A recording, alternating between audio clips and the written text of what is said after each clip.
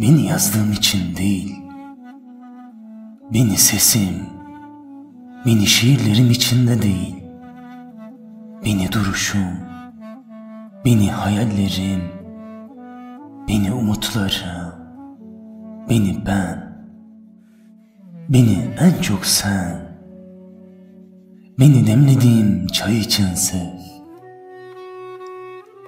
Ben seni en çok sen de ben olduğum için sevdim. Sen de öyle yap. Beni en çok sen olduğun için sev. Şimdi bencil olmaktan öte sencilim. Sen de beni bunun için sev.